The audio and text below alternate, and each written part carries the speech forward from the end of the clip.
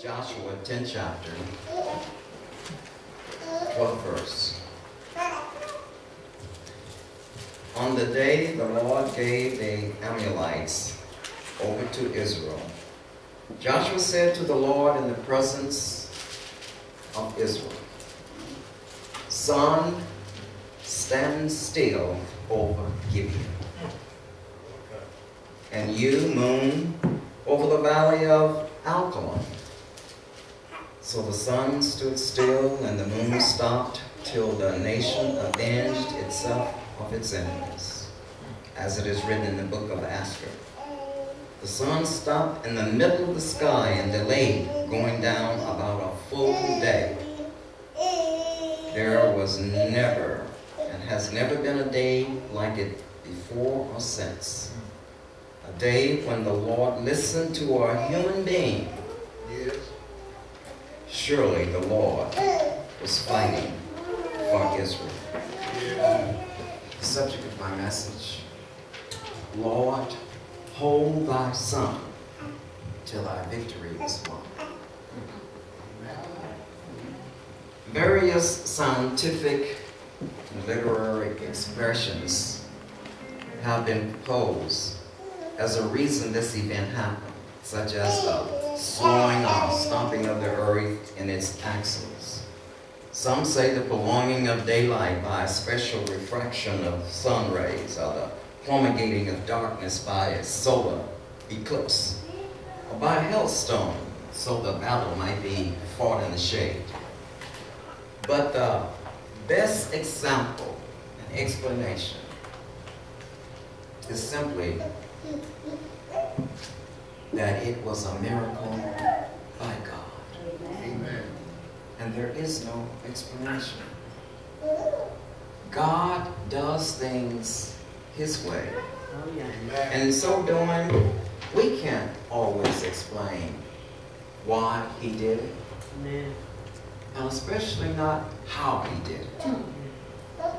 And it is as a result of that that quite often when we are caught up in reading the many miracles for which has taken place, the explanations for which we hear many give is just their interpretation Yes. Yes. of God's love for mankind. Yes. There have been many promises made by God, and in the situation for which Joshua was confronted with, it was a promise for which God made to Abram, not Abraham at that time, it was Abram he had made. When we go to Genesis 15 chapter, 12th verse, and I will read it from the 12th through the 21st. And the reason that I'm reading it is because I really want you to understand when God made promises, it may take a little time for its fulfillment because we haven't lived up to our deserving such. But the key is when he does make those promises, he fulfills them. And when the sun was going down, a deep sleep fell upon Abram. And lo, a horror of great darkness fell upon him. And he said unto Abram, Know of a surety that thy seed shall be a stranger in the land that is not theirs, and shall serve them, and they shall afflict them four hundred years. And also that nation whom they shall serve will I judge, and afterwards shall they come out with great substance. And I shall go to thy fathers in peace. Thou shalt be buried in a good old age. But in the fourth generation they shall come hither again, for the iniquities of the Amorites is not yet full. And it shall pass that when the sun went down and it was dark, behold, a smoking furnace and a burning lamp that passed between these pieces. And the same day the Lord made a covenant with Abram, saying, Unto thy seed have I given this land from the river of Egypt unto the great river, the river Euphrates.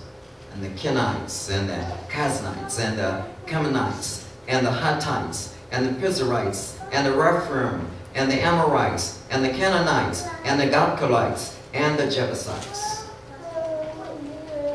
That was the promise Abram. and it was through that promise that today, as we speak upon this subject, Joshua is fulfilling it. We all know that the children of Israel was in the wilderness for 40 years upon their release from bondage after 400 years. But God had given Abram a promise. And after their tour of duty, you might say, for 40, 40 years, mm-hmm. it was time now for God to deliver that promise. And he chose not Moses, but he chose Moses' assistant to take over where Moses had left off. Amen. And that assistant was Joshua. And it is as a result of that now, we're speaking of Joshua going forth in the fulfillment of the purpose for which God gave Abraham. Around four plus centuries ago. It was a situation for which, as Joshua took responsibility, one of the first chores was that he had to get over into the land of the Canaanites. And there was a river that separated the land for which he had been promised from the wilderness for which they had been in for 40 years. And that was the River Jordan. The promise was made, so as a result of the promise, as he did the Red Sea, he parted the river of Jordan, whereas the children of Israel could walk through the 20 miles, the 20 miles that was necessary for them to get to the promised land. Thereafter, we've heard the story of Jericho. We know that uh, there was spies that were sent out to canvass the city, and we know what happened as a result of what God did for the children of Israel in overcoming Jericho. But not just Jericho, although there were arrows made after the capture of Jericho, there was Ai that was there. Some arrows were made, but the key is that after it was corrected, the children of Israel followed forth and captured the city of Ai. Now the next in line was, what would he do in regards to the Amorites? It so happened that between the Amorites and where the children of Israel was located, which was in Gilgal, there was a group called the Gibeons. And the Gibeonites, they had heard about the wondrous work for which God had done on behalf of Israel. So they recognized that the magnitude of their city was such and the power of God was greater that it would behoove them to make peace with the children of Israel. But they being looked upon as enemies and neighbors of where at that particular time Israel was located, how could they become neighbors, friends, when they would be looked upon amongst the Israelis as enemies? So a group of them decided that they would masquerade themselves. Yes. And they put on some clothes that would indicate that they were from a faraway land and they had been traveling a great distance. And they went up to the children of Israel, the princes there, and made a plea. Informed them that they were from a foreign land. And they did not know anything about the area for which they were in. And they needed a peace treaty with the children of Israel, whereas they may continue on in their pilgrimage. It was a lie. Yeah. Children of Israel were gullible. They accepted what was presented to them. As so many of us Christians do when we hear of someone that's in trouble, that have a plea, we do the same thing. So they did such without, without checking with the master. The master with whom had opened the river of Jordan for them, the master that had given them the city of Jericho and Ai, they just thought that this was the right thing to do. So they did. So there was a peace treaty in the city of Gibeon, which was a major thoroughfare and port in the children of Israel pursuing the land of Canaan. And this is where we are now. I wanted to kind of bring you up the first nine chapters of Joshua, whereas you can get to where we are at this Amen. time. The question that we have today, this morning, is how much trust do you have in the God you serve? Whose faith are you operating with? Is it God or is it man? I question I ask, is there anyone by way of your God? Is there anyone by way of your master who can hold the sun all day long at your request? That's the God we serve. Amen. And it is as a result of that, that by way of the request that Joshua made, we can talk about such in this particular sermon. And it is as a result of this episode from the life of Joshua and Israel fighting the Amorites. It should make us realize that it's with the right faith, it's with the right belief, it's with the right trust. But more than anything else, it's with the right relationship Amen. that we can develop, that rapport with God Almighty. Faith can be relied upon for protection, for help, deliverance, and we should expect more with the Spirit of God. And I say that because His Spirit, as a result of what Jesus Christ did for us in having the opportunity of everlasting life, that Spirit is operating inside of us right now. And it is through that Spirit for which those requests for which we may ask is incumbent upon the Lord to hear our requests and to be obedient toward it. If, as Joshua, we have developed a relationship with God. So, what I come to you today to talk about is how do we get that type of relationship? Whereas God Almighty can hear our requests as we probably normally make each day through prayer. Amen. But how do we get that answer to our satisfaction? Well, the only thing that we can do is look at those characters within the Bible and understand how they were able to do such.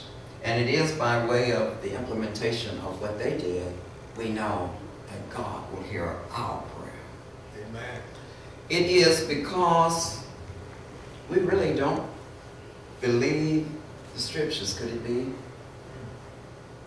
Is that what it is? Because every day we're picking up this Bible, we're reading it. And yet we know that in the Bible it says that God did miraculous things. Amen. And yet, if it's here, then why is it that we can't get that type of response from Him? And especially now, especially when Paul in 2 Timothy 3 16 and 17, Yes. He said to Timothy, All scripture is written by the inspiration of God. This, this that I raised up to you, it's done by the inspiration of God and is profitable for doctrine, for reproof, for correction, for instruction in righteousness, that the man of God may be protected thoroughly, furnished into all good works.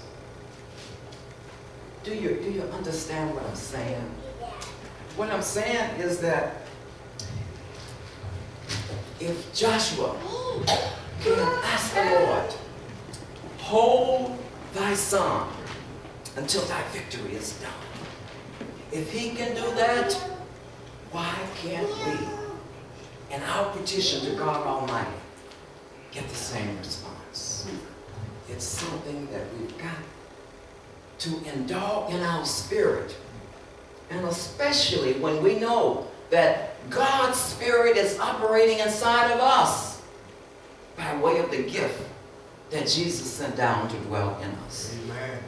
So, yes, God's purpose in the miracle was to show us today what He can do for us with faith.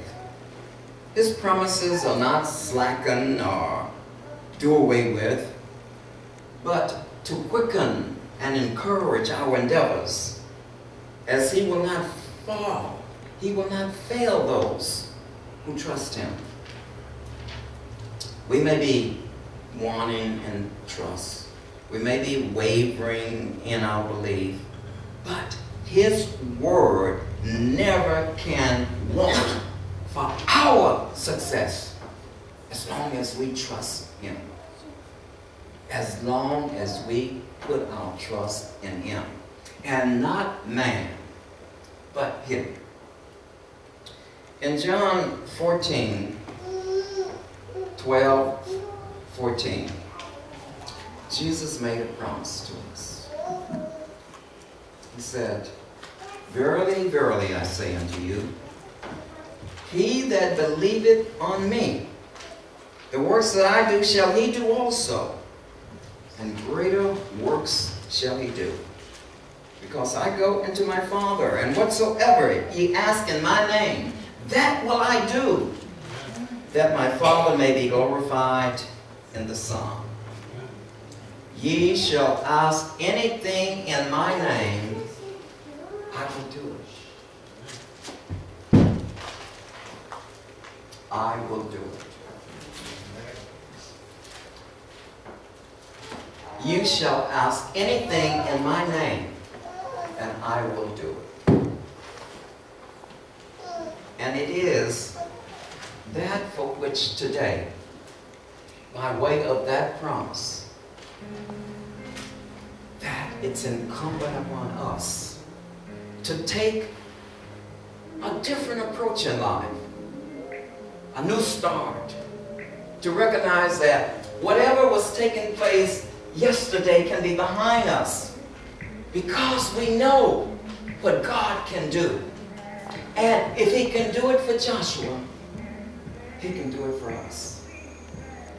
It's so important to recognize that regardless of what the obstacles may have been which we were confronted with, regardless of the hardships that we may have encountered, regardless of what problems, sickness, legal, credit-wise, we got all of them. And we're always concerned about how can we overcome those little fractions and interruptions in our life. And yet, we know that if God can do it for Joshua, Yes, Lord. why can't he do it for us? Yes. Is it because we've just lost the hope. We've lost the trust. We've lost a little of the belief. Is it because the, the world for which has contaminated our spirit in such a way that we've become a little more consumed with that of the world than that of the Word? Whatever the reasons are, that can be for us yesterday. Because today can be a new day for us. Amen. It can be a new day because we can take a new direction in our life. We can take a greater determination that we're going to have that relationship with God Almighty. We don't have to wishy-washy around with that of the world versus that of the Word. It's the Word for which will give us the foundation for which Jesus has already promised to us. He said, ask and I will do all for you. But in order for him to fulfill his promise, his teachings, for which he brought forth in this land, it's incumbent upon us to be obedient toward them. Because it is by way of his teachings for which will give us the leverage, the headway, for which we then can look to God Almighty and ask our Father, our Savior, whose Spirit is operating inside of us. Yeah, yeah. Help thou, my Father, that for which I seek thee. That's what this life is about. That's what we are here in church today to see. We were here to hear the Word of God, but greater than that, we're here to go forth and execute that Word execute it in a manner to the degree that we will have the relationship that we desire because we know that it is available to us. Mind you, I said it's available to us. How many things in this life that we know that is available to us? With God, all things are available. All things are possible Oh. simply because there is a supreme being up there with whom Joshua asked him to hold the sun Yeah. Yeah. and then hold the moon in another city Well. Well. until my victory is won. That victory is upon us today. That's the victory for which the pains inside of us in the morning may be lingering on us. That's the victory in which the, the boss with whom we are confronted with in a consistent manner, there's turbulence that can be resolved. That's the victory for which there's necessary funds that need to be supplied to us and we don't know where it's going to come from. That's the victory for which we can seek from God Almighty. And through such, we can say, Father, hold thy sun till my victory is won. In Joshua, first chapter, 5 through 6,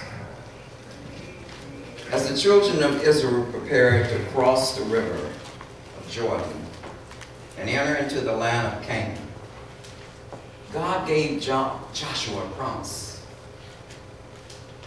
And he said in 10.5, There shall not any man be able to stand before thee all the days of thy life. As I was with Moses, so will I be with thee. I will not fail thee, nor forsake thee.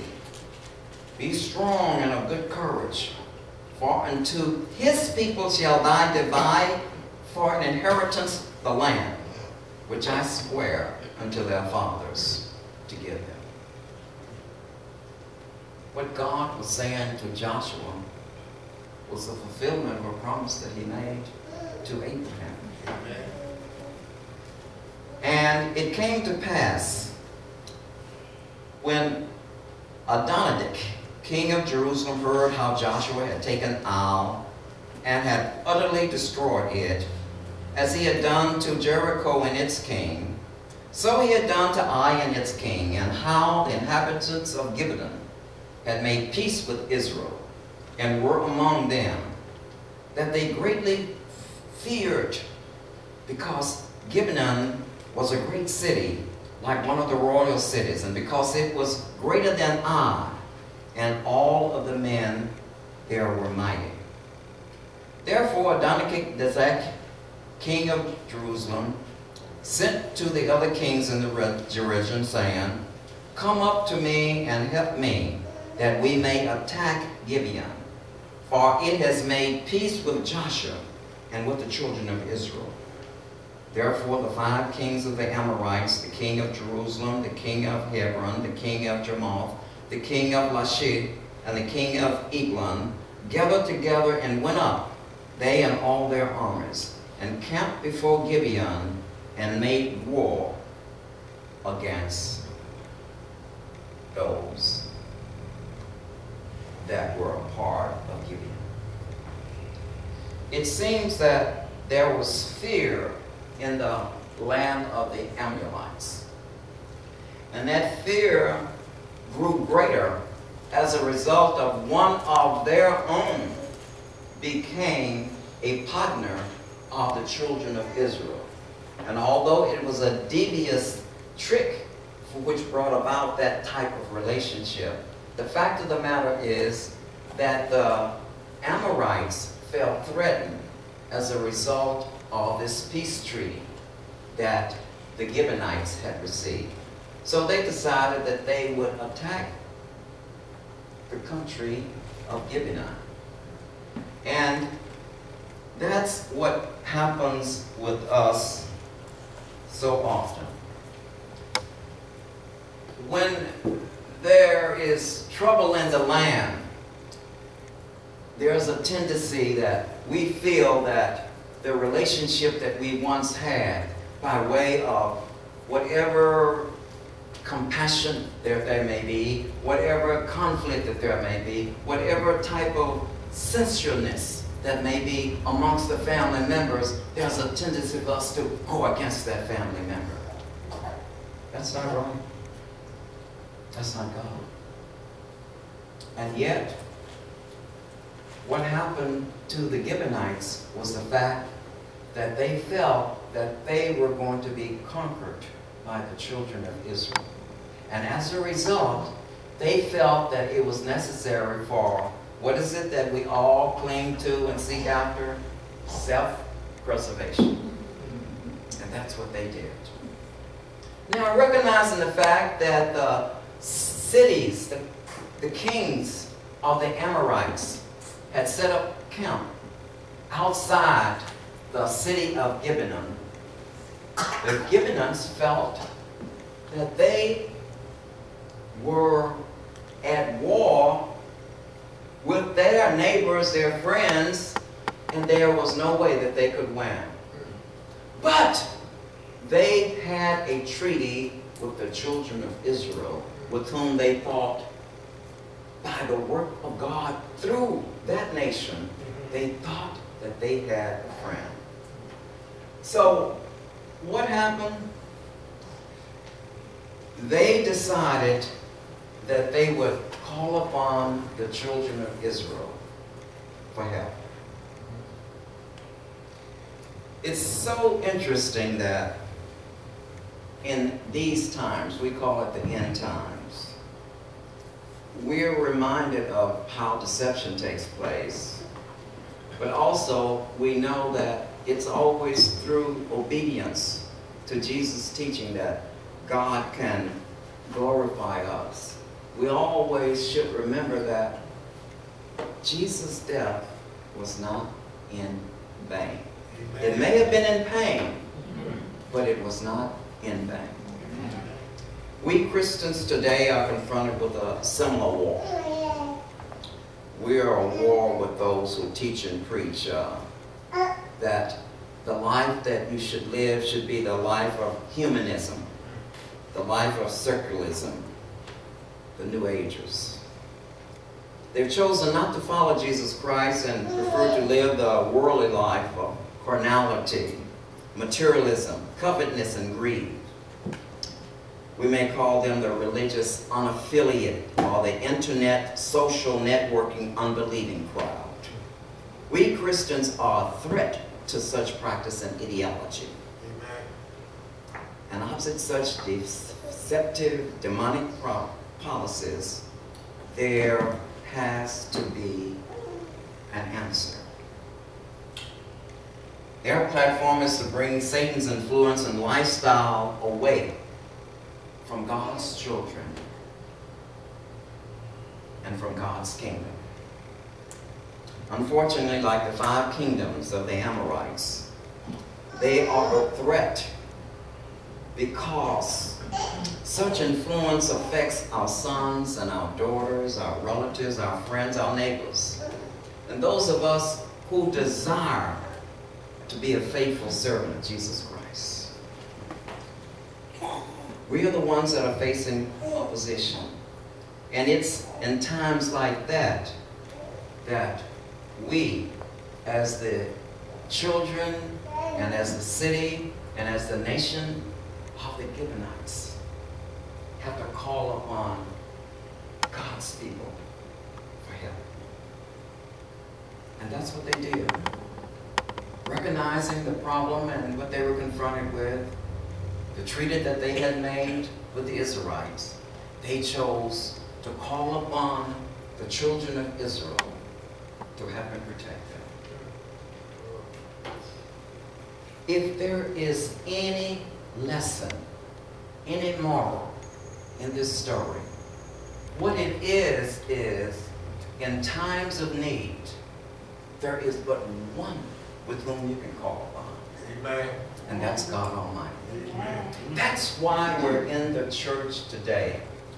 Because we recognize that it's important to develop that rapport with His Spirit.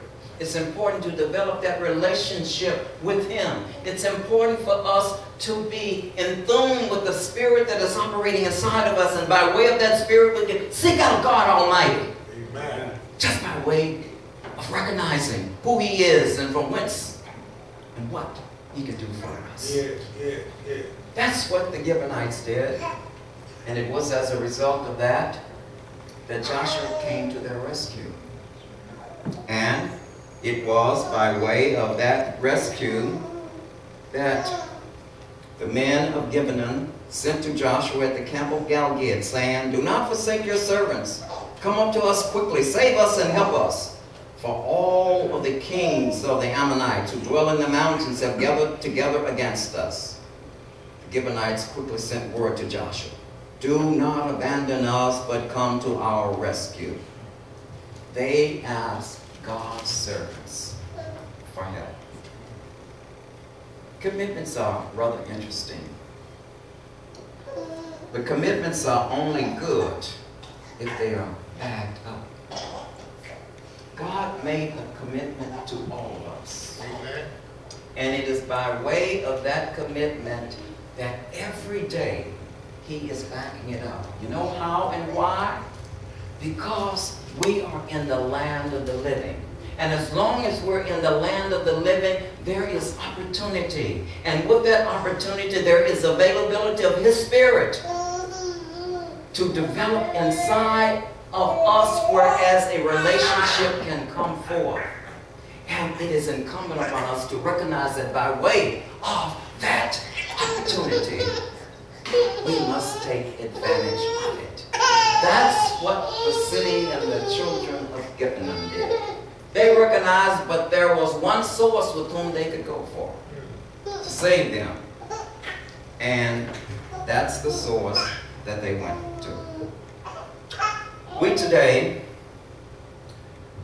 we have much that we can do simply because there are many out there that are seeking us. We Christians, we're members of the church, we God-fearing people. We have the poor, the forsaken, the homeless. Those who are tired of running and are saying, I need help, please help me. I've tried man, but he and she don't have the goodness, don't have the knowledge, don't have the wisdom, don't have the power to help me, to heal me, to comfort me, to protect me. Oh, if men and women today still understood the value of giving their word and standing behind it, what would this life be? Jesus speaks of this endeavor during his last days. In Matthew 25, 42, we see what's happening. And I say that we see what's happening because there are too many out there that are homeless. There are too many in the hospital that are lonely. There are too many that are in the streets that are hungry. He said, when I was hungry, you gave me nothing to eat. When I was thirsty, you gave me nothing to drink. I was a stranger, and you did not invite me in. Naked, and you did not clothe me. Sick and in prison, and you did not visit me. Why do we call ourselves Christians? Attend church regularly to hear the word.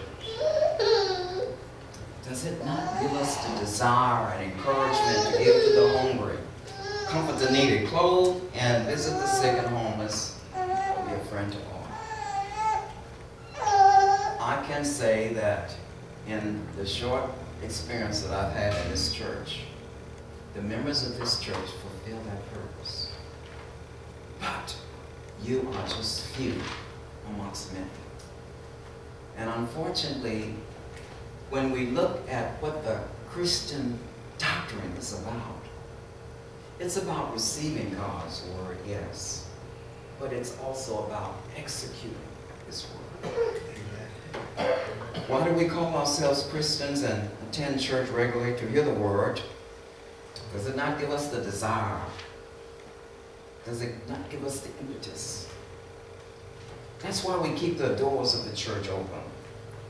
To receive those who want to come back to He who is omnipotent, He who is omnipresent, Yes, He who is omniscient, yes. all powerful, ever present, and all knowing. The Gibeonites needed a representative of God to give them hope and escape the consequence of the rash reality of what the nation of the Amorites were prepared to do to them. Joshua had made a treaty with the Ammonites, and although they had tricked him, he made a commitment in God's name and he honored it. What better example is there for us in this life to do for our mankind? Verse 7 says, So Joshua ascended from Gilgal, he and all the people of war with him, and all the mighty men of valor. God, we must realize, is always, is always going to be with us if we just believe.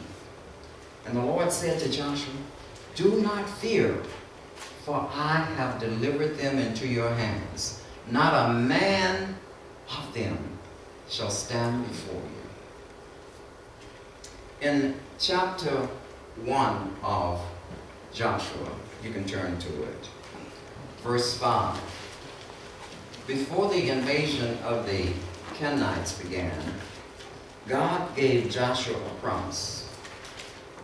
And what this sermon is about is God keeps his promise. But God often works in his way, not by unveiling some new truth previously unknown. He works by reaffirming promises already given, which somehow takes on a special significance and meaning when we began to believe it. There is faith, there is trust, and there is belief we can have in him. So why can't we do, why can't we do as he says, trust in the Lord. Oh, that's a famous verse. In all thine heart. And lean not to thy own understanding. In all thy ways acknowledge him.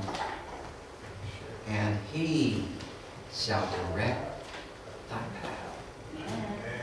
Christian friends, you understand what I'm trying to say? Why is this sermon significant? As that sun stood still, glowing until the battle was won, so should our Holy Spirit glow. Before our sons and our daughters and sisters and brothers and nieces and nephews and all who surround us, I say to our Christians, let our light shine on them to give them encouragement, inspiration, determination, enlightenment, strength, and boldness.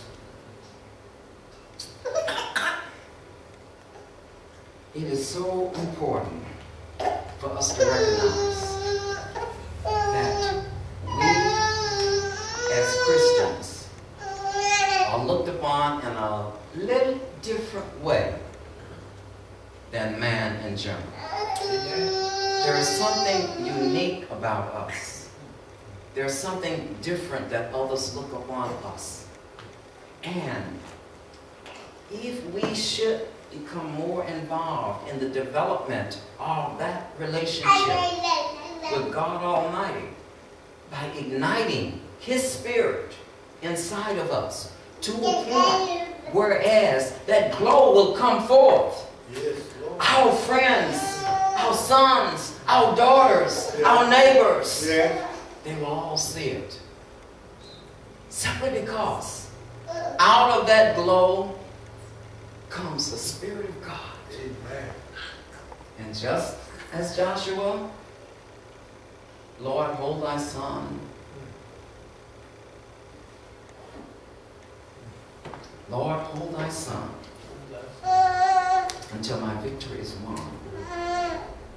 That's where your victory comes. We have problems, yes, in this life. And especially those close to us simply because we love them. Well, We want them to enjoy life in the same way that we do. We don't want our sons and daughters going into the world and fascinated by way of what that new worldly doctrine is about.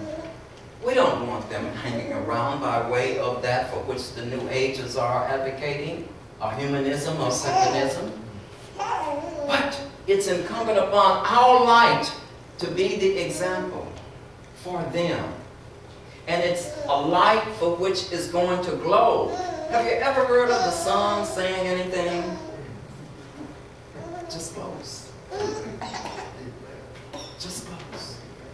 But it shines and it brings about energy to us.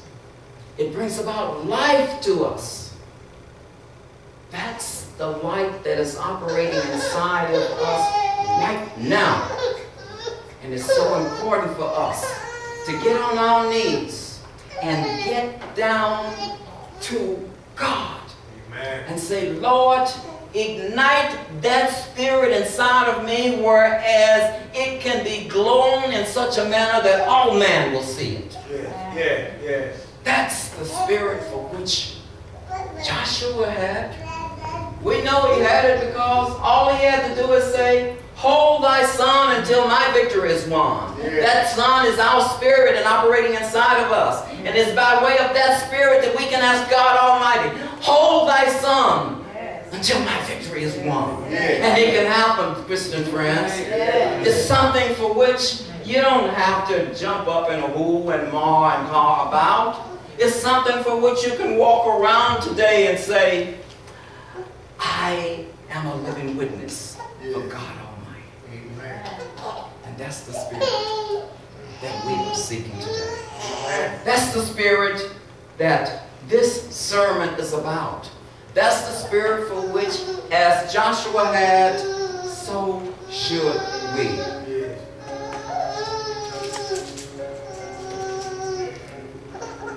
It's at a point in life where we've got to recognize that with all of the problems, all of the headaches, all of the misery, be it small big, we've got to get right with God. We don't want to continue the lifestyle that we today are living. There's got to be a change. But that change has to come about within us. The message is just to inspire you. But the message that's going forth is penetrating your spirit. And that penetration is what is so necessary today because it brings about a change. Because that's the spirit that ignites your spirit. And igniting your spirit, it brings about a determination on a change in you to change. That's what this message is about today. It's about that we've tried and we've tried. We've tried our way. Let's try God's way. It's time for a change. And it's time for us to recognize that regardless of who we are and how holy we may be, that there is more of God that we can receive. And it is by way of the determination for which we should seek in that relationship for which that spirit that I speak of can take place. The teaching and the preaching in the church is important. Let's inspire our loved ones, those that are watching us, to make peace with God, to join the Christian bandwagon. We all know it won't be easy. But could it be worse than Jesus sacrificing his life for our salvation? My ministry is the outreach ministry. Coming from Wall Street, I recognize that those that were established in church felt that they had all of God that they needed. But it's those that do, not know God, have not learned of Him, those that are on skid row, those homeless. Those are the ones that I see. And in doing so, I can testify that there have been difficult times in my ministry. I've been mocked, been befooled, debunked, laughed at, made fun at, ridiculed, ill-received, scorned. But through it all, through it all, I ask myself, it's nothing as compared to what our Lord and Savior gave up his life. Whereas we can live with him in his kingdom forever. It's nothing like what he did for us. And it's in that light that I'm asking all of us to realize that, yes, we have the Holy Ghost operating inside. Yes, we know God. There is so much more for us to do because we haven't reached that perfected point that the Lord God is seeking for us. There is more growth that needs to come forward. There is more of Him that needs to come out of us. And until we get to the point of doing as Joshua did and asking the Lord to hold that sun until my victory is won,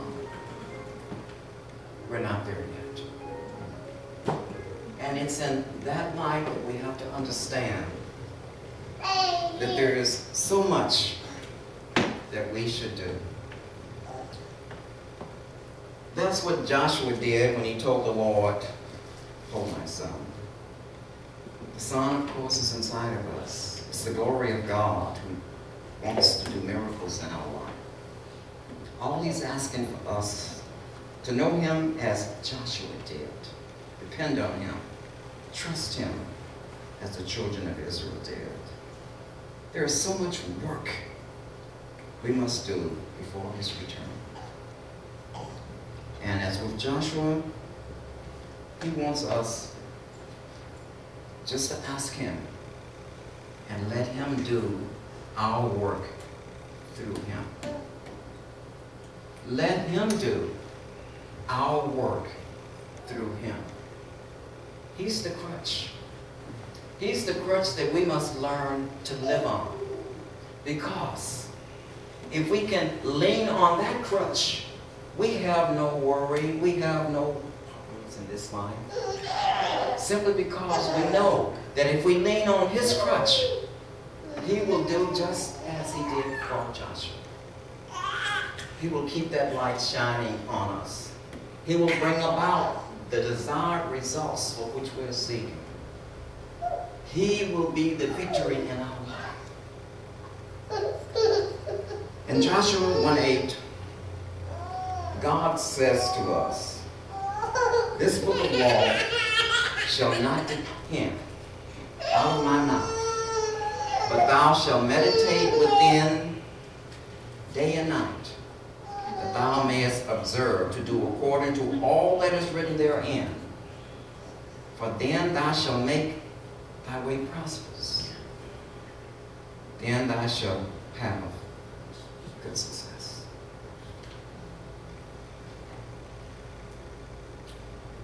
It's all in here. This is where it is. It's not out there on the streets. It's not there on social networking. It's in here, and it's in here in order to develop a closer relationship. It's in the church. Not the church for show, not the church for Sunday night club meetings, where God can be found.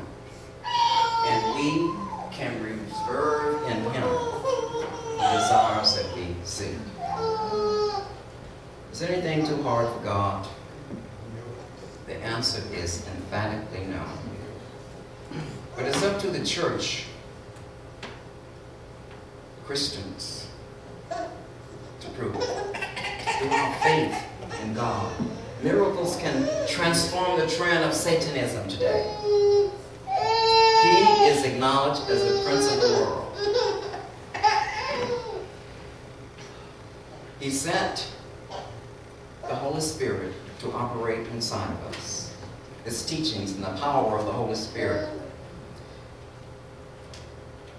We should have overthrown the boundaries of Satan as black people, to be honest with you, right after slavery. We should have. Because it was that time that we were more dependent upon him than ever before. But we let the world interfere with the godliness which we had become dependent upon. Let us not talk to talk, and let us not walk to talk.